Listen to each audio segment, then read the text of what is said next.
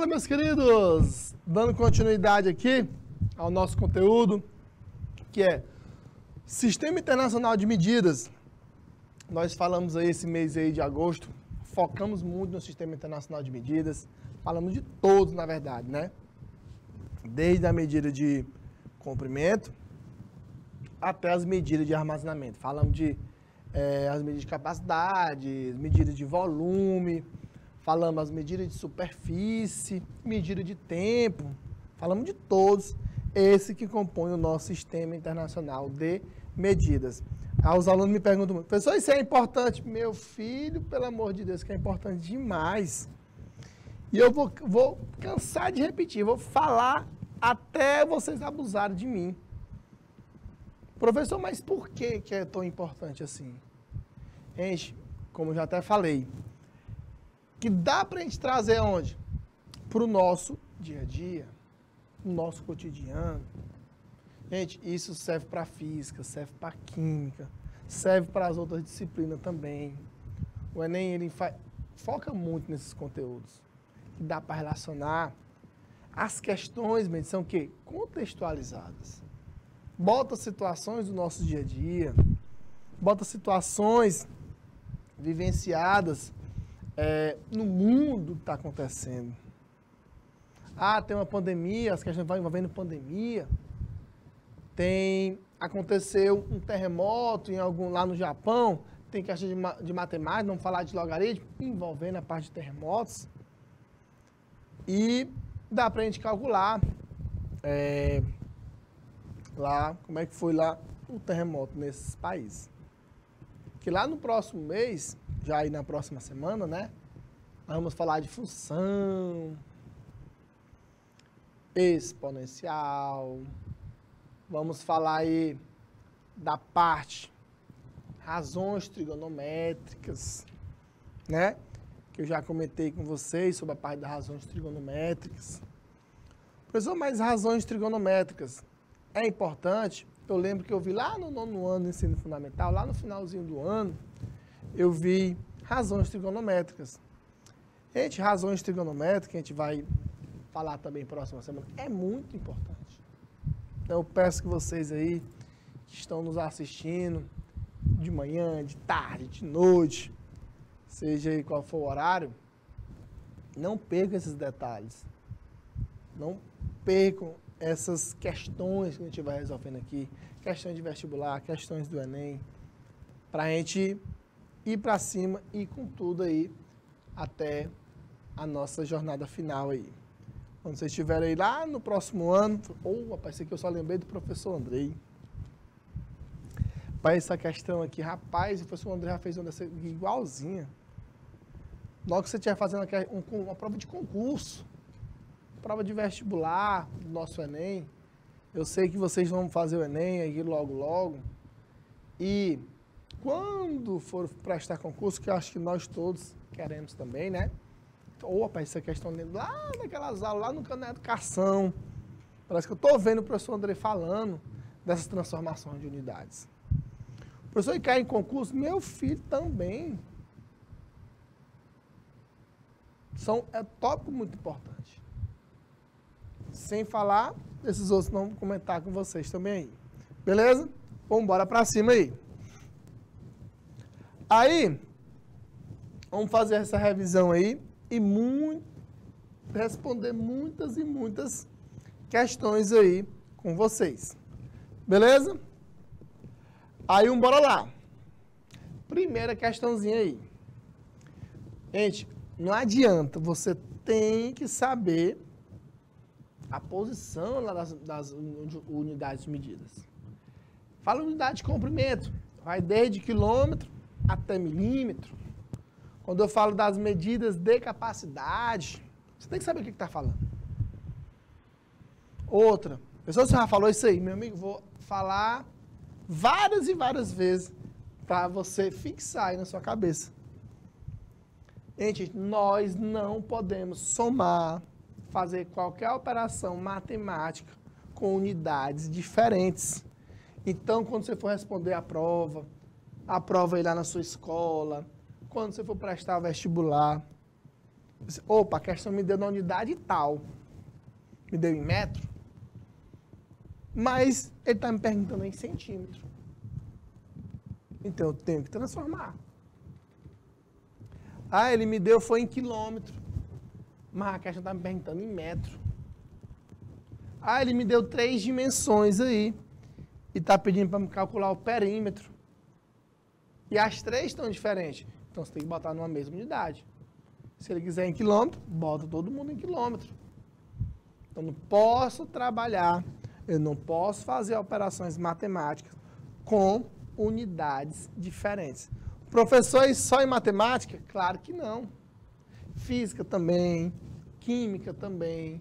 Tenho certeza que os professores aí dessa parte da natureza comentam isso aí também. Ah, professor, mas para me fazer é, balanceamentos, para me calcular a velocidade média, você tem que saber matemática. Tem que saber transformar. E aqui não fazer o quê? Só aquela brincadeira. Multiplicando por 10, por 100, por mil. Dividindo por 10, por 100, por mil. E é um conteúdo bastante rico. Bora lá. Primeira questão. Jéssica foi ao armarinho de sua cidade comprar material para fazer um vestido.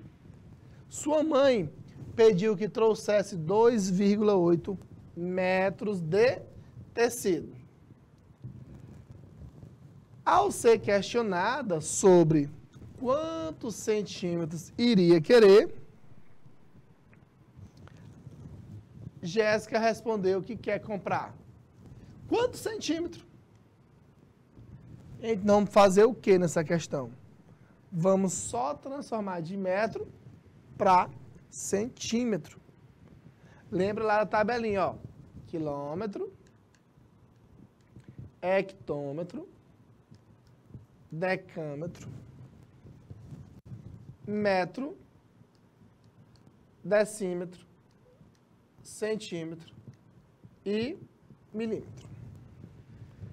Então, ele está indo para onde? De metro para centímetro. Então eu tenho que multiplicar por, por 100. 2,8 metros vezes 100, isso aqui é igual a quanto? A 280 centímetros. Beleza? Com certeza aí é a letra E. Bora lá, né? Próxima questão. Se mil metros é igual a um quilômetro, 100 centímetros é igual a um metro, quantos centímetros tem 1,25 quilômetro? Então, nós vamos lá de quilômetro nós vamos até onde? Centímetros. Quilômetro, hectômetro, decâmetro, metro, decímetro, centímetro e milímetro. Quilômetro para centímetro, vamos lá, são uma, duas, três, quatro, cinco casas para direita. Cinco casas para a direita. Nós temos aqui, ó, 1,25 quilômetro. Eu tenho que multiplicar por 100 mil. 100 mil, porque são cinco casas que isso aqui é a mesma coisa que 1,25 vezes 10 elevado a 5 centímetros. Com certeza está na letra B de bola. Beleza? Vamos aí para questão questão 3. Todo dia Carlos dá 10 voltas correndo em torno de uma praça de formato retangular, que mede 80 metros de largura e 100 metros de comprimento. Quantos quilômetros? Olha aí, como gosto de fazer essas perguntinhas para nós. Quantos quilômetros Carlos corre nesta atividade? Então, bora imaginar aqui o nosso terreno. A nossa praça retangular.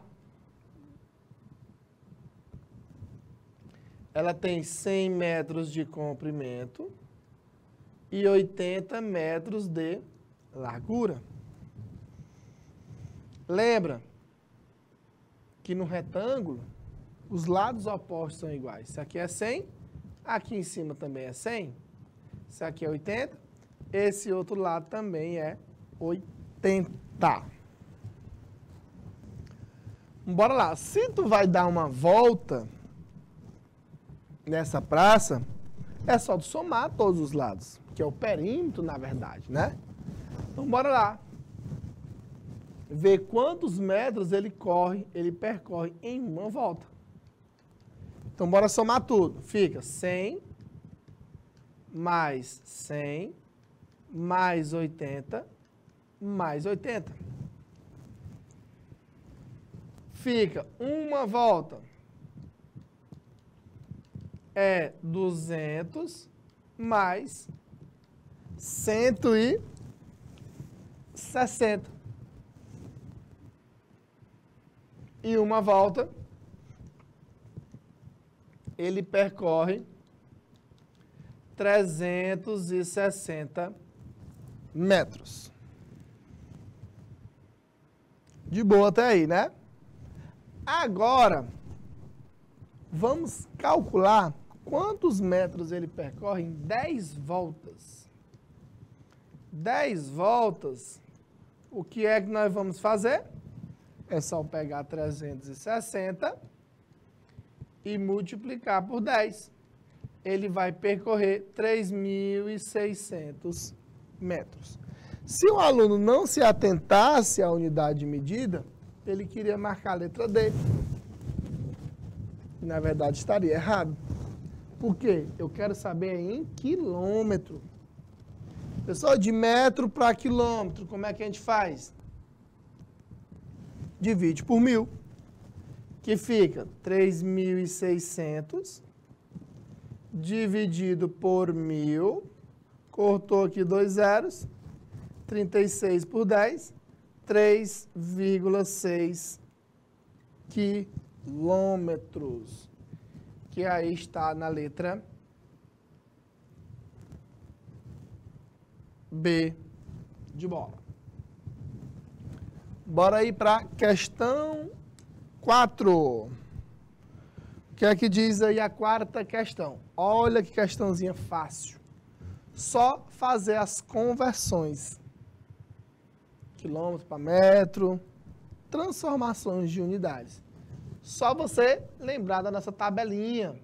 Quilômetro, hectômetro, decâmetro, metro, decímetro, centímetro e milímetro. Beleza? Bora lá. De quilômetro, 3 quilômetros para metro, nós temos que fazer o quê? Multiplicar por mil. Que isso aqui equivale a 3 mil metros.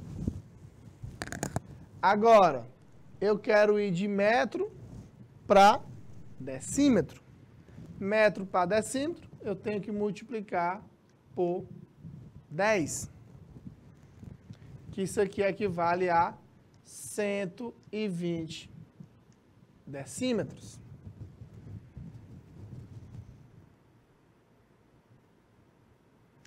Agora, de centímetro para milímetro, é uma casa para a direita.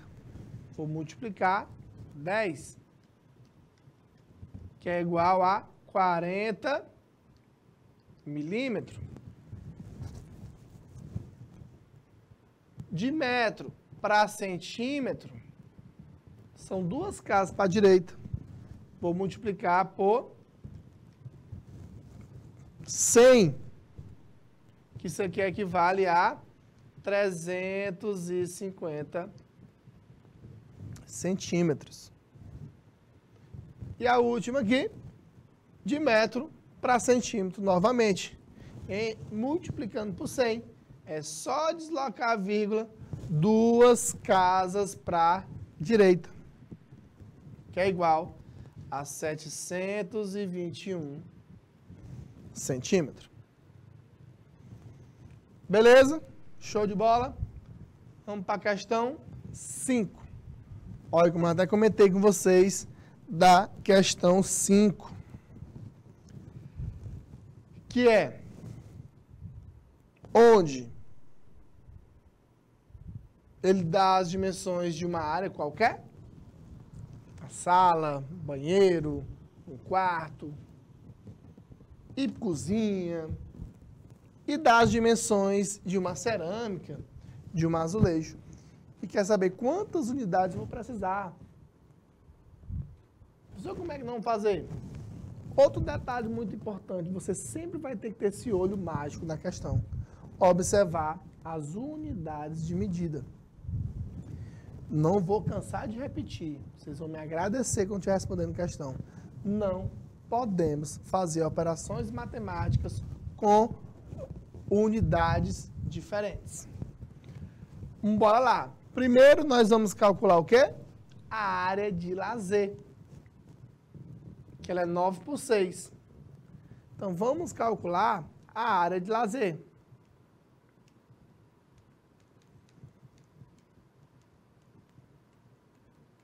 A área de lazer vai ser quem? 9 vezes 6. A área de lazer equivale a 54 metros quadrados. Beleza? Agora, eu vou calcular a área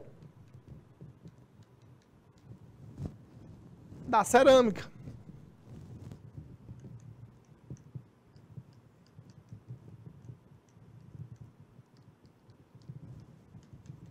Gente, a área da cerâmica, ele diz que ela é quadrada. E a área de um quadrado é lado vezes lado. Então, quem vai ser a área da cerâmica? Vai ser 100 vezes 100, que é igual a 10 mil centímetros quadrados. Beleza?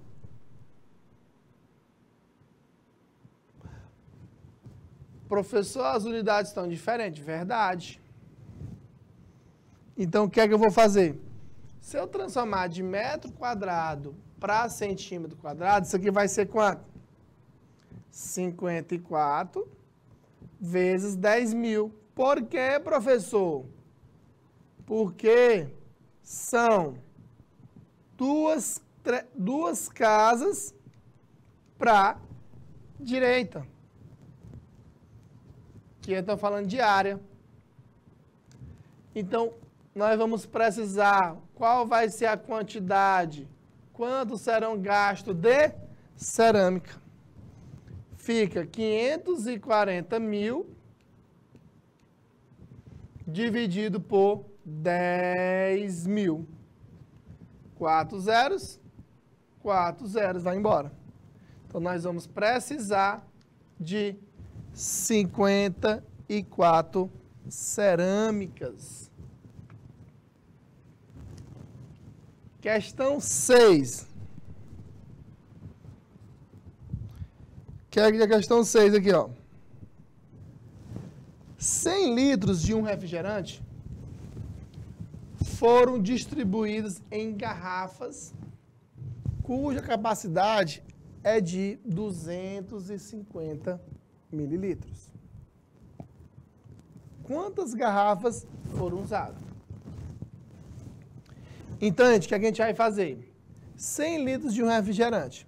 De novo, as unidades estão quê?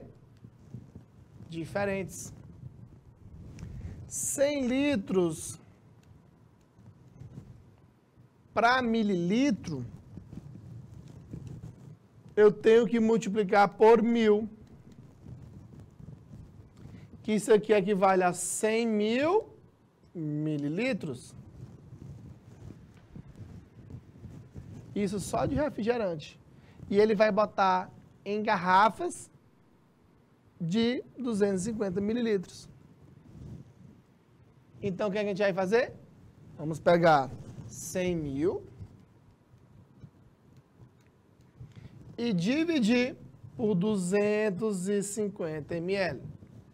Dividindo 100 mil dividido por 250, nós vamos precisar de 400 garrafas. Beleza? Questão 7. As medidas internas de uma piscina são 12 por 5 por 2.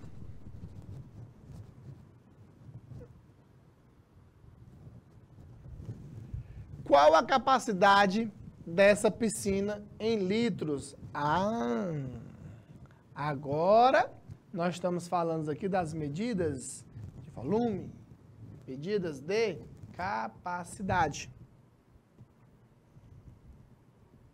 Que é que nós vamos fazer? Vamos calcular o volume da piscina. E depois nós vamos transformar para litros.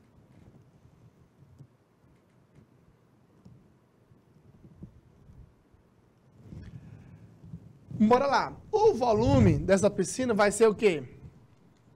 A vezes B vezes C. É o produto das três dimensões. Então, o volume vai ser ó, 12 vezes 5 vezes 2. O volume vai ser 60 vezes 2, que é 120 metros cúbicos. Beleza. Só, meu filho, que a questão quer saber em litros. 120 metros cúbicos vezes mil, isso aqui equivale a 120 mil litros. Beleza? Bora para a próxima questão. Questão 8. O que é que diz aqui a questão 8? Um tanque tem a forma de um cubo que tem 4,5 decímetro de aresta. E ele se encontra o nível da água a 20 centímetros da borda superior do tanque. Ele quer saber quantos litros de água há nesse tanque. Bora lá, né? Bora imaginar aqui a nossa figura, o nosso cubo que nós temos.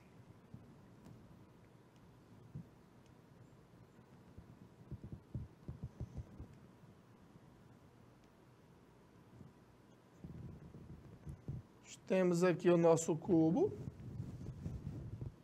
E está aqui, ó, 4,5 decímetro. 4,5 decímetro. E, gente, observe que essa a água lá no tanque, ele não está completamente cheio esse tanque. Ele está a uma certa distância da borda superior, como a própria questão disse.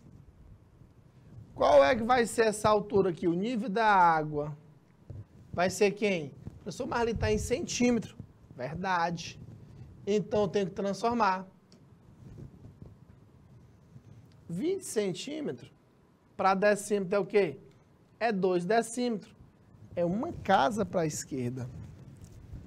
Então, quanto é que vai ser o nível da água?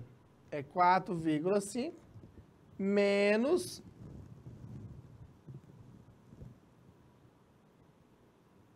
dois. Então, o nível da água está 2,5 decímetros. É a altura que está a água.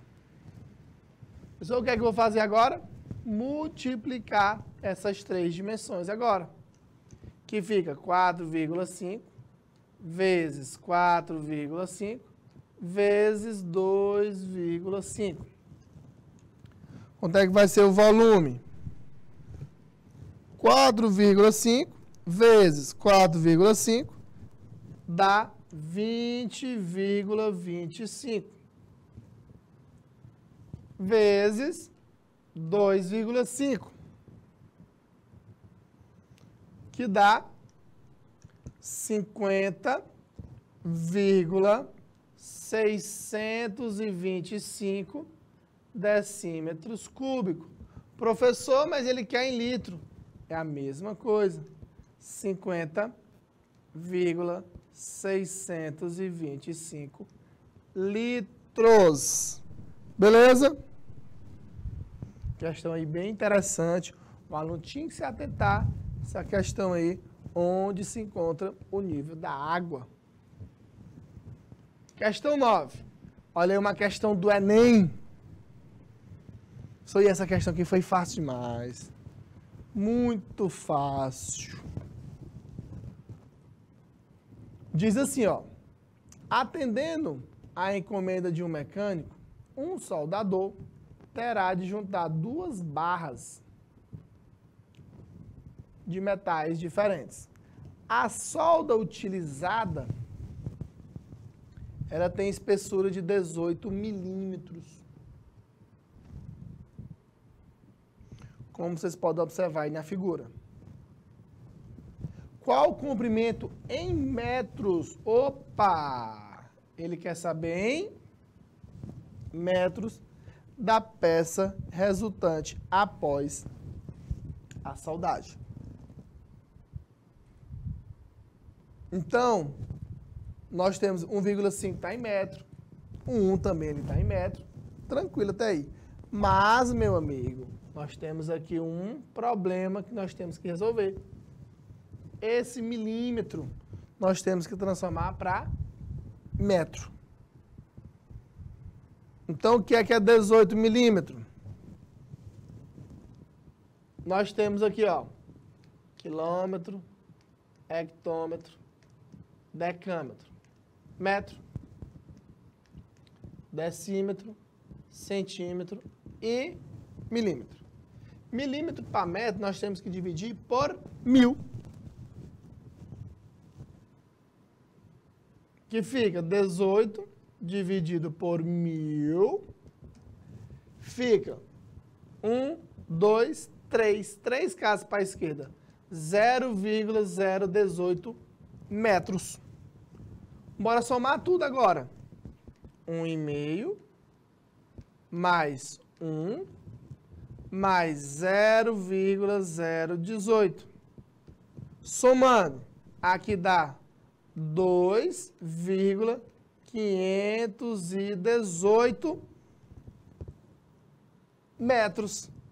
Pessoal, 3.180 é a mesma coisa. Com certeza aí está na letra D de dado. Próximo. Um salão, ele pode ser revestido totalmente com 540 ladrilhos de 3.600 centímetros quadrados cada um. Eita, ele quer saber a área desse ladrilho. Observe que todas as alternativas aí estão em unidade diferente. Primeiro, bora calcular. É, temos que fazer o produto. São 50, 540 ladrilhos. Então, eu vou pegar, quanto é que vai ser essa área? Vou pegar isso aqui e multiplicar pelo valor de cada um, que é de 3.600 centímetros quadrados. Então, fica 540 vezes 3.600, que dá 1 milhão 944 mil centímetros quadrados. Beleza? Não tem nenhum com centímetro quadrado. Professor, isso aqui seria milímetro. Ia diminuir? Nada disso. Ia aumentar, né? Aumentar a quantidade de zeros. Professor, isso aqui é quantos? Decímetro. Isso daqui equivale, bora lá. Corta dois zeros. Fica um, nove, quatro, quatro e zero. 19.440 decímetros quadrados. A letra D está fora. A letra A está fora também. Bora transformar isso aqui para metros quadrados. Divide por 100 de novo. Que isso aqui fica 194,40 metros quadrados. Ah, encontramos aqui uma alternativa, que é a letra E, 194,40 metros quadrados.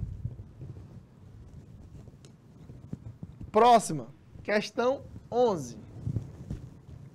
Preciso colocar arame farpado em volta de um terreno retangular. Ele tem 0,2 km de largura e 0,3 km de comprimento. Gente, se ele vai dar uma volta, é o que? O perímetro. Nós temos que fazer o que? Somar todos os lados. Temos aqui o nosso retângulo, 0,3 quilômetro, e aqui é 0,2 quilômetro. Beleza? Aqui também é 0,3 e aqui é 0,2 quilômetro. Uma volta, o que é uma volta? É a gente somar tudo. 0,3 mais 0,2, 0,3 mais 0,2. Que fica uma volta é 0,5 mais 0,5. Uma volta ele vai ter que colocar aí um quilômetro de arame. Só, meu filho, que ele quer saber nessa questão é em metro. Então, nós temos que multiplicar por mil. Que isso aqui, na verdade, equivale a mil metros. Com certeza aí é a letra C. Questão 12. Calcule a capacidade em litros de uma piscina com as seguintes dimensões: 8 de comprimento, 6 de largura e 1,8 de profundidade, que é a altura. Então, gente, volume. O que é, que é volume? A questão quer saber em litros. O volume vai ser o quê? 8 vezes 6 vezes 1,8. Bora lá, como é que vai ser esse volume? 8 vezes 6, 48. Vezes 1,8. Multiplicando, o volume equivale a 86,4 metros cúbicos. Acabou, pessoal? Não! Nós temos que transformar isso aí para litros, que é só multiplicar por mil, que isso aqui equivale a 86.400 litros. Questão de número 12. Muito fácil esse tipo de questão. Questão 13. O tanque de combustível de um veículo, ele tem 80 centímetros de comprimento, 35 de largura e 20 de altura. Beleza? Supondo que o reservatório estava cheio, após uma viagem, foi gasto 3 quartos. Quantos litros restaram no reservatório? Então ele quer saber em litros, né? Quantos litros? Olha o que, é que eu vou fazer para otimizar nossas continhas. 80 centímetros, isso aqui equivale a 8 decímetros. 35 centímetros, isso aqui equivale a 3,5 decímetros. E 20 centímetros, isso aqui equivale a 2 decímetros. Beleza? O que é que eu vou fazer agora, professor? Eu vou calcular o volume, que é 8 vezes 3,5 vezes 2. E o volume é a mesma coisa que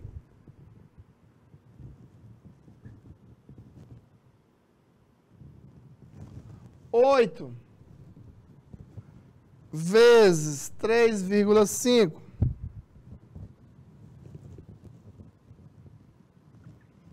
vezes dois que dá cinquenta e seis decímetros cúbicos, que isso aqui equivale a 80 56 litros. Beleza. Ele gastou 3 quartos. Bora calcular 3 quartos de 56. Aqui fica 1. E aqui fica 14. E 3 vezes 14 dá 42 litros. Ele gastou 42 litros. Restou quanto? Quanto foi que restou? Aí tu pega 56 menos 42, restou 14 litros.